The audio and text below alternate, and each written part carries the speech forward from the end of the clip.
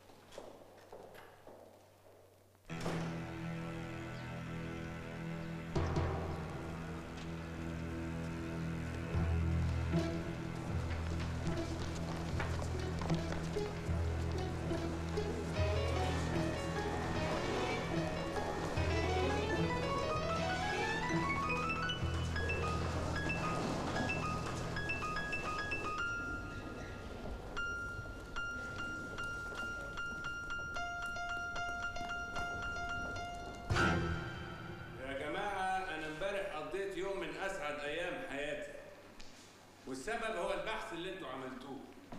لأن مفيش حاجة بتسعد الأستاذ أكتر من إنه يكتشف إن التلامذة بتوعه عباقرة. وزع يا ابني الورق ده. أما البحث ده أنا هحتفظ بيه وهطلب من إدارة المعهد تنشره في الدوريات العلمية علشان العالم كله يستفيد منه. هشام مصطفى.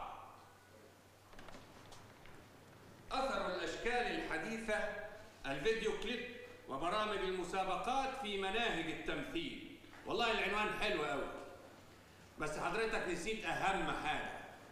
أنا لما أقول البحث يتعمل من الكتاب يتعمل من الكتاب. يا دكتور. يا فندي أنت جاي هنا تتعلم وتفهم.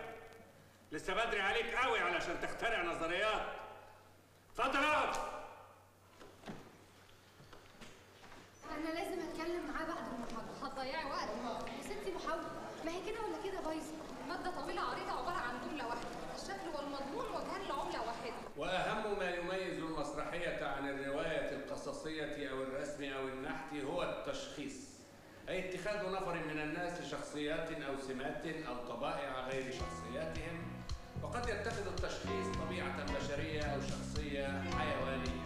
مثل المسرحيات البدائية التي تمثل الصيد والحرب.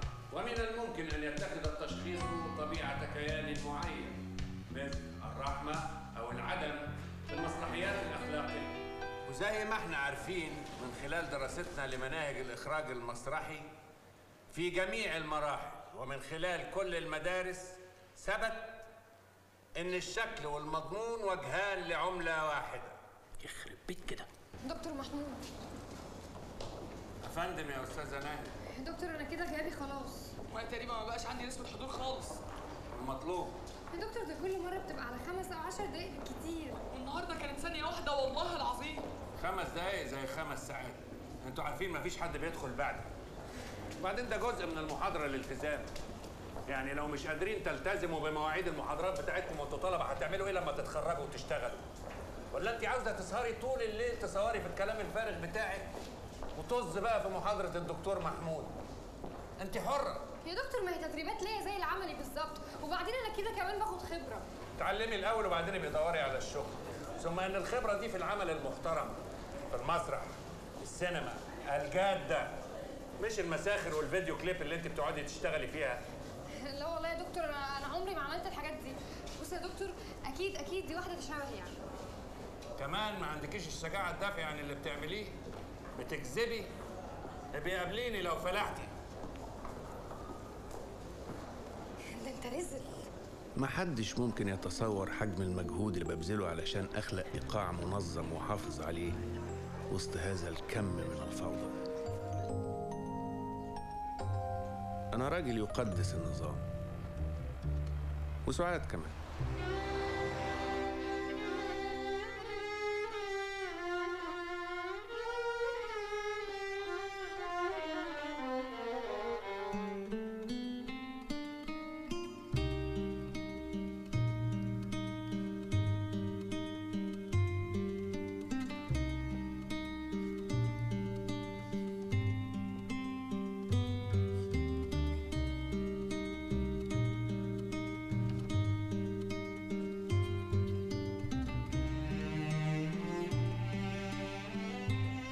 إحنا ما خلفناش.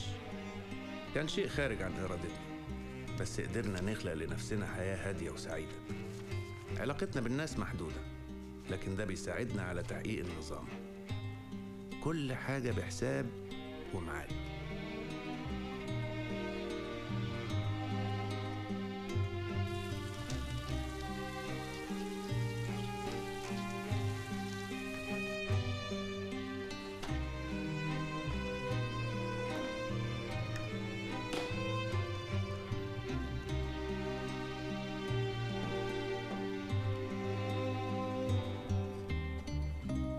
ومن ضمن نظام حياتي السفر لإسكندرية كل يوم تلات وأربع بدرس تمثيل في مدرسة سان مارك